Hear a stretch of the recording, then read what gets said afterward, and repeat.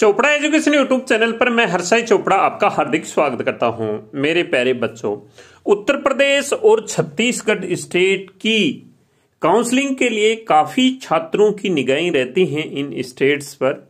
उत्तर Pradesh state में low cut off वाले candidate को भी यहाँ के प्राइवेट मेडिकल कॉलेज में सीट मिल जाती है। फ़ीस स्ट्रक्चर इनका आ चुका है और छत्तीसगढ़ स्टेट की कट ऑफ़ तो थोड़ी ज़्यादा रहती है, लेकिन सबसे कम फ़ीस की इस साल की कॉलेज होने के कारण सबसे ज़्यादा स्टूडेंट इस स्टेट में एडमिशन लेने की प्लानिंग करते हैं।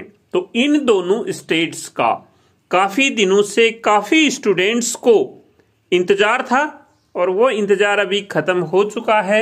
इनका शेड्यूल आ चुका है, रजिस्ट्रेशन का। तो मैं आपको इस वीडियो में ये बताऊँगा कि क्या क्या इनकी डेट्स और इसके बाद में अप्लाई कैसे करना है।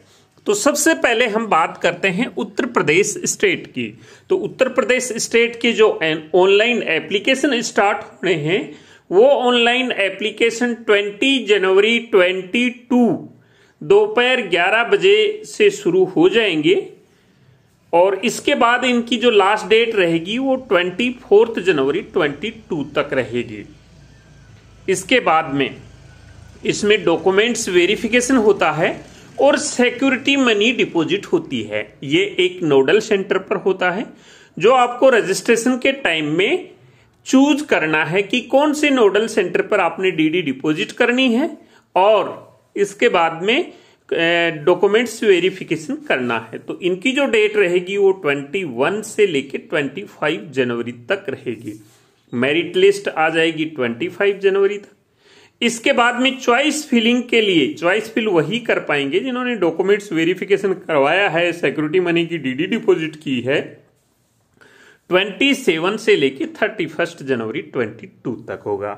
रिज़ल्ट एक या दो फरवरी 2022 को आ जाएगा और अलॉटमेंट लेटर डाउनलोड करने और एडमिशन लेने की जो डेट रहेगी वो सेकेंड फरवरी से लेके फिफ्थ फरवरी 22 तक रहेगी। यूपी स्टेट की काउंसलिंग के अपने अलग नियम हैं। इसमें फ़र्स्ट राउंड एग्जिट राउंड नहीं होता है और इसमें अगर आपको सीट लोट होती है तो इसमें एडमिशन लेना होता है, नहीं लेते हैं तो सिक्योरिटी मनी आपकी डिपॉजिट की है, आपने वो फॉरफिटेड हो जाती है। उसके बाद में अगर आपका कहीं एडमिशन होता है तो कुछ से परसेंटेज काट के सिक्योरिटी डिपॉजिट से इसमें आपको वापस किया जाता है। तो ये इसकी अलग अलग कंडीशन है और ये कंडीशन इसके साथ में लिखी गई है, लिखी हुई है इसमें। ये सारी कंडीशनें लिखी हुई हैं। तो यूपी स्टेट की काउंसलिंग करवाने से पहले आप इन सारे रूल एंड रेगुलेशन को एक बार थ्रोली चेक कर लें। कहीं आपका सिक्योरिटी मनी का नुकसान ना हो जाए, क्योंकि यूपी के काउंसलिंग के रूल एंड रेगुलेशन थोड़े अलग हैं।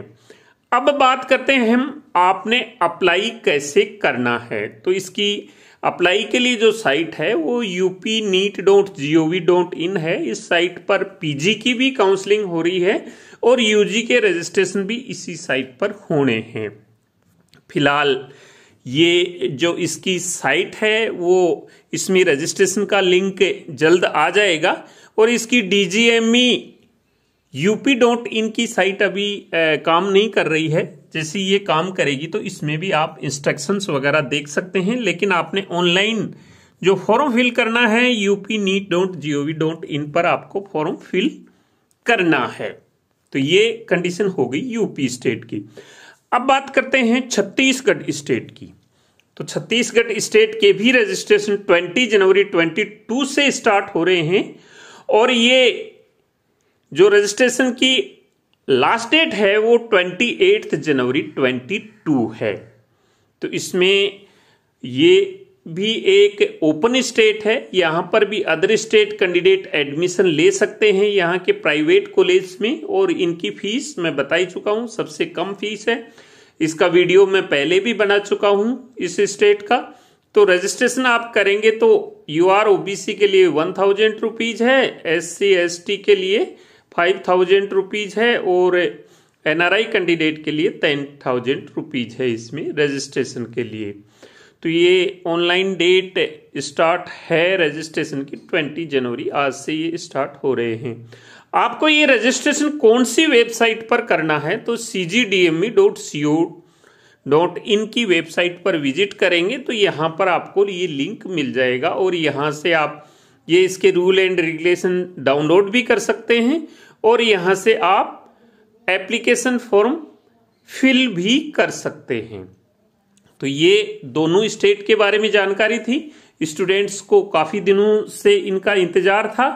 तो आप भी अगर इन दोनों स्टेट में दोनों ही ओपन स्टेट हैं, इनमें आप अप्लाई करना चाहते हैं तो कर सकते हैं। तो मिलेंगे नई अपडेट के साथ, नई जानकारी में। तब तक के लिए जय हिंद।